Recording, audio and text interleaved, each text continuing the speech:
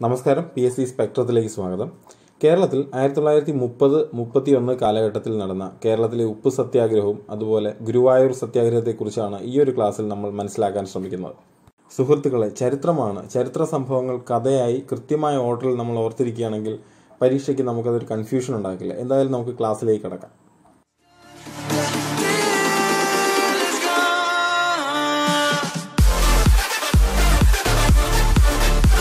ആയിരത്തി തൊള്ളായിരത്തി മുപ്പതിൽ ഗാന്ധിജി ദേശീയ തലത്തിൽ നിയമലംഘന പ്രസ്ഥാനം ആരംഭിക്കുന്നു. അക്കാലഘട്ടത്തിൽ ഉപ്പ് നിർമ്മിക്കാനും വിതരണം ചെയ്യാനും ഗവൺമെന്റിന് മാത്രമാണ് അതായത് ബ്രിട്ടീഷുകാർക്ക് മാത്രമാണ് നിയമ സാധുതയുണ്ടായിരുന്നത് ആ കാലഘട്ടത്തിലാണ് ഗാന്ധിജി ഉപ്പുണ്ടാക്കി ആ നിയമത്തെ ലംഘിക്കുന്നത്. ആയിരത്തി തൊള്ളായിരത്തി മുപ്പത് മാർച്ച് പന്ത്രണ്ടിന് ഗാന്ധിജിയും മറ്റ് എഴുപത്തിയെട്ട് സഹചാരികളും ചേർന്ന് സബർമതി ആശ്രമത്തിൽ നിന്ന് ദണ്ഡിയിലേക്ക് ഒരു മാർച്ച് നടത്തുകയും ദണ്ഡി കടപ്പുറത്ത് വെച്ച് ആയിരത്തി തൊള്ളായിരത്തി മുപ്പത് ഏപ്രിൽ ആറിന് ഉപ്പുണ്ടാക്കി ഉപ്പ് നിയമം ലംഘിക്കുകയും ചെയ്തു. ഇതേ തുടർന്ന് കേരളത്തിലും അതിന്റെ അനുകരണങ്ങളുണ്ടായി. ആയിരത്തി തൊള്ളായിരത്തി മുപ്പത് ഏപ്രിൽ പതിമൂന്നിന് കൃത്യമായി പറഞ്ഞാൽ ഗാന്ധിജി ഉപ്പുണ്ടാക്കി ഒരാഴ്ചയ്ക്കിപ്പുറം കേരളത്തിൽ കെ കേളപ്പന്റെ നേതൃത്വത്തിൽ ഉപ്പ് സത്യാഗ്രഹം നടന്നു. കോഴിക്കോട് നിന്നും പയ്യന്നൂരിലെ ഉളിയത്ത് കടവിലേക്ക് മാർച്ച് ചെയ്ത മുപ്പത്തിരണ്ട് പേരുടെ സംഘം ആയിരത്തി തൊള്ളായിരത്തി മുപ്പത് ഏപ്രിൽ ഇരുപത്തി മൂന്നിന് പയ്യന്നൂരിലെ ഉളിയത്ത് കടവ് സ്ഥലത്ത് ഉപ്പുണ്ടാക്കി ഉപ്പ് നിയമം ലംഘിച്ചു. അവരുടെ ഈ യാത്രയിൽ അവർ പാടിയ പാട്ടാണ് വരിക വരിക സഹചരെ വലിയ സമര സമയമായി എന്നുള്ള ഗാനം. അംശി നാരായണപിള്ളയാണ് ഈ ഗാനം എഴുതിയത്. പക്ഷേ ഈ ഉപ്പ് സത്യാഗ്രഹം കേരളത്തിലെ ഉപ്പ് സത്യാഗ്രഹം ആയിരത്തി തൊള്ളായിരത്തി മുപ്പത് മെയ് പന്ത്രണ്ടിന് അടിച്ചമർത്തപ്പെട്ടു. കേരള ഉപ്പു സത്യാഗ്രഹത്തിന്റെ കേന്ദ്രം പയ്യന്നൂരാണ്. അതുപോലെ തന്നെ കേരള ഉപ്പു സത്യാഗ്രഹത്തിന്റെ സ്മാരകം ഇരിക്കുന്നതും പയ്യന്നൂരിൽ തന്നെയാണ്. മലബാറിൽ മാത്രമല്ല കോഴിക്കോടിലും ഉപ്പു സത്യാഗ്രഹം നടത്തിയിരുന്നു. അത് നടത്തിയത് കേരളത്തിന്റെ സുഭാഷ് ചന്ദ്രബോസ് എന്നറിയപ്പെടുന്ന മുഹമ്മദ് അബ്ദുറഹ്മാനാണ്. പാലക്കാടിലും നിയമലംഘന പ്രസ്ഥാനത്തിന്റെ ഭാഗമായിട്ടുണ്ടായിരുന്ന ഉപ്പു സത്യാഗ്രഹം നടന്നു. അത് നടത്തിയത് ടി ആർ കൃഷ്ണസ്വാമി അയ്യറാണ്. ഉപ്പു സത്യാഗ്രഹത്തെ തുടർന്ന് നാൽപ്പത്തിമൂന്ന് ദിവസം തടവിൽ പാർക്കുന്ന കാലത്ത് ജയിലിൽ നിരാഹാരം അനുഷ്ഠിച്ച് മരിച്ച ഒരു മനുഷ്യനുണ്ട്. അദ്ദേഹത്തിന്റെ പേരാണ് P C Kunhiraman Adiyodi. P C Kunhiraman Adiyodi. നമുക്കറിയാം ഗാന്ധിജി അഞ്ച് തവണ കേരളം സന്ദർശിച്ചിട്ടുണ്ട് അല്ലേ? അതിൽ നാലാമത്തെ തവണ ഗാന്ധിജി വന്നത് നമുക്കറിയാം ഹരിജനത്തിന്റെ ഉന്നമനത്തിന് ഫണ്ട് പിരിക്കുന്നതിന് വേണ്ടിയാണ്. പക്ഷേ ആ ഒരു കാലഘട്ടത്തിൽ അദ്ദേഹം പയ്യന്നൂർ സന്ദർശിച്ചിരുന്നു. പയ്യന്നൂരിലെ ഉപ്പ് സത്യാഗ്രഹം നടന്ന സ്ഥലം അദ്ദേഹം സന്ദർശിച്ചിരുന്നു. ആ കാലഘട്ടത്തിൽ അദ്ദേഹം അവിടെ ഒരു മാവ് നട്ടു. ആ മാവ് ഗാന്ധി മാവ് എന്നാണ് അറിയപ്പെടുന്നത്. ഗാന്ധി മാവ് എവിടെയാണെന്നുള്ളൊരു ചോദ്യം വന്നാൽ ഉത്തരം പയ്യന്നൂർ എന്നാണ്. ഇത്രയുമാണ് കേരളത്തിലെ ഉപ്പ് സത്യാഗ്രഹത്തിന്റെ ചരിത്രവും സംഭവങ്ങളും. ഒന്നുകൂടെ നമുക്ക് നോക്കാം.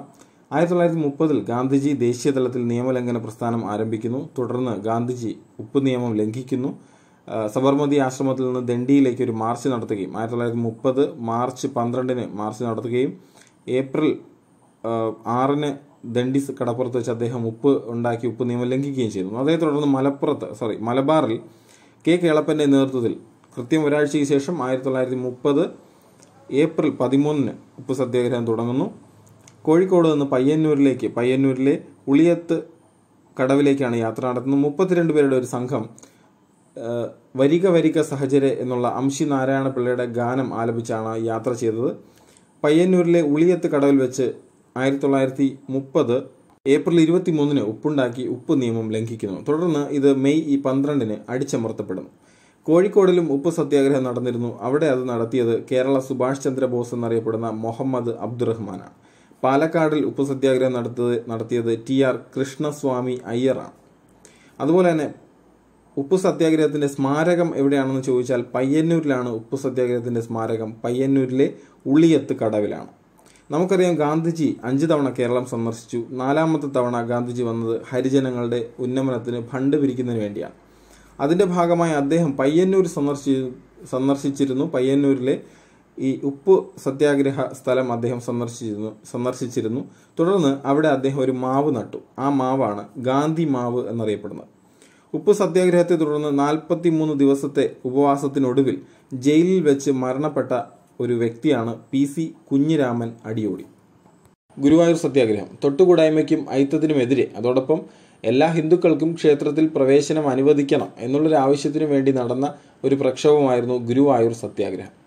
അതിന്റെ സാഹചര്യങ്ങളിലേക്കും അതിന്റെ നാൾവഴികളിലേക്കും പോവുകയാണെങ്കിൽ ആയിരത്തി തൊള്ളായിരത്തി മുപ്പത്തി ഒന്ന് ജൂലൈ ഏഴിന് ബോംബെയിൽ വെച്ച് നടന്ന എ ഐ സി സിയിൽ ഈ എ ഐ സി സി എന്ന് പറയുന്നത് ഓൾ ഇന്ത്യ കോൺഗ്രസ് കമ്മിറ്റി എന്നാണ്. അതായത് ഇന്ത്യൻ നാഷണൽ കോൺഗ്രസ്. അതിന്റെ അധ്യക്ഷക സമിതിയാണ് എ ഐ സി സി ആ കമ്മിറ്റിയിൽ കെ കേളപ്പൻ ക്ഷേത്ര സത്യാഗ്രഹത്തിനായി വാദിക്കുകയും ഗാന്ധിജിയിൽ നിന്ന് സമ്മതം വാങ്ങുകയും ചെയ്യുന്നു. അതേ വർഷം ഓഗസ്റ്റ് രണ്ടിന് കോഴിക്കോട് കൂടിയ Kerala Pradesh Congress committee K P C സിയിൽ കെ കേളപ്പനെ ഗുരുവായൂരിൽ സത്യാഗ്രഹം നടത്താൻ അതിന്റെ ചുമതലപ്പെടുത്തുന്നു.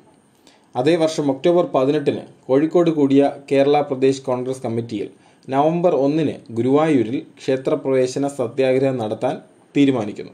അങ്ങനെ നവംബർ ഒന്നിന് ഗുരുവായൂരിൽ സത്യാഗ്രഹം ആരംഭിക്കുന്നു. തുടർന്ന് ആ ദിവസം ആയിരത്തി തൊള്ളായിരത്തി മുപ്പത്തി ഒന്ന് നവംബർ ഒന്ന് അഖില കേരള ക്ഷേത്രപ്രവേശന ദിനമായി ആചരിക്കാൻ തീരുമാനിക്കുന്നു.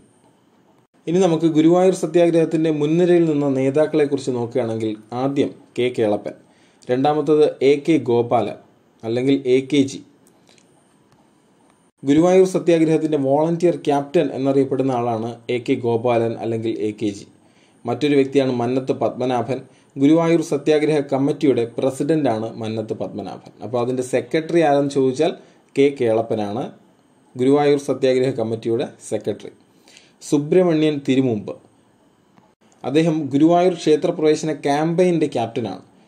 സുബ്രഹ്മണ്യൻ തിരുമുമ്പ് ഗുരുവായൂർ ക്ഷേത്രപ്രവേശന ക്യാമ്പയിന്റെ ക്യാപ്റ്റനാണ്. അതോടൊപ്പം പാടുന്ന പടത്തലവൻ എന്നറിയപ്പെടുന്നതും സുബ്രഹ്മണ്യ തിരുമുൻപാണ്. അദ്ദേഹത്തെ അങ്ങനെ വിശേഷിപ്പിച്ചത് ഇ എം എസ് നമ്പൂതിരിപ്പാടാണ്. ഇനി മറ്റൊരു വ്യക്തി പി കൃഷ്ണപിള്ളയാണ്. ഒരു ഘട്ടത്തിൽ ഈ ക്ഷേത്ര ശ്രീകോവിലിലെ മണി മുഴക്കാൻ ശ്രമിച്ചതും അത് മുഴക്കിയതും ഈ പി കൃഷ്ണപിള്ളയാണ്. എന്തായാലും ഈ ഗുരുവായൂർ സത്യാഗ്രഹം ആ ഒരു സമരം കൊടുമ്പിരിക്കൊള്ളുന്ന കാലത്ത് ക്ഷേത്രം അടച്ചിടുന്ന ഒരു സാഹചര്യം ഉണ്ടാകുന്നു അങ്ങനെ ക്രമേണ സമരം തണുക്കുകയും പരാജയത്തിനടുത്തെത്തുകയും ചെയ്യുന്ന ഒരു സാഹചര്യത്തിൽ കെ. കേളപ്പൻ താൻ ഏറ്റെടുത്ത ലക്ഷ്യം പൂർത്തിയാക്കുന്നതിന് വേണ്ടി തന്റെ ജീവൻ ബലികഴിക്കാനും തയ്യാറാകുന്നു ആയിരത്തി തൊള്ളായിരത്തി മുപ്പത്തിരണ്ടിൽ അദ്ദേഹം സെപ്റ്റംബർ ഇരുപത്തൊന്നിന് അദ്ദേഹം നിരാഹാരം തുടങ്ങുന്നു. അങ്ങനെ ഈ ഒരു നിരാഹാരം അഖിലേന്ത്യാ ശ്രദ്ധ പിടിച്ചു പറ്റുന്നു രാജാവിന് പല ഭാഗത്തു നിന്നും സന്ദേശങ്ങൾ വന്നു തുടങ്ങുന്നു ഈ കാലഘട്ടത്തിൽ.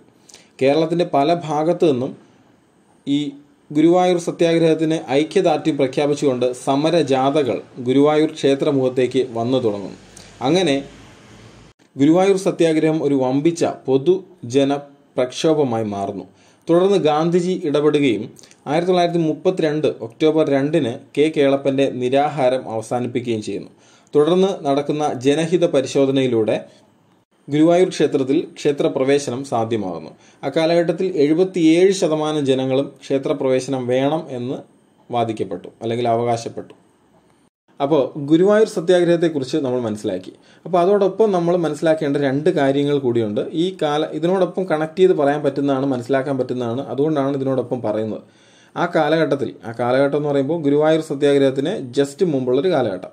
പയ്യന്നൂരിലെ പൊതുനിരത്തുകളിലൂടെ നടക്കാൻ താഴ്ന്ന ജാതിക്കാർക്ക് അവകാശമുണ്ടായിരുന്നില്ല. അടുത്തുള്ള ക്ഷേത്രം അശുദ്ധമാകും എന്നതാണ് അതിന് ചൂണ്ടിക്കാണിക്കപ്പെട്ടിരുന്ന കാരണം. എന്നാൽ ഗുരുവായൂർ സത്യാഗ്രഹണ പ്രചരണാർത്ഥം കെ കേളപ്പനും എ കെ ഗോപാലനും അടങ്ങുന്ന ഒരു വലിയ സംഘം ഈ വഴിയിൽ ഹരിജനങ്ങളെയും കൂട്ടി ഒരു ഘോഷയാത്ര നടത്തി. പക്ഷെ അത് ആ ജനങ്ങൾ സ്വീകരിച്ചത് വളരെ രസകരമായിട്ടാണ്.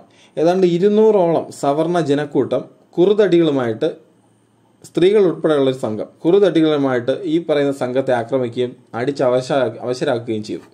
സ്ത്രീകൾ ഉലക്കയുമായിട്ടാണ് ഈ സംഘത്തെ നേരിട്ടത്.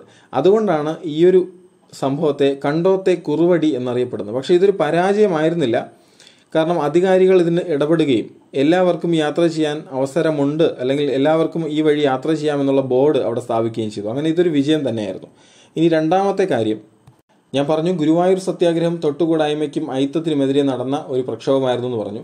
ഗുരുവായൂർ സത്യാഗ്രഹം ആ കാലഘട്ടത്തിൽ സാമൂതിരിമാരുടെ കീഴിലായിരുന്നു എന്നും നമുക്ക് മനസ്സിലാക്കാൻ പറ്റിയിട്ടുണ്ട്.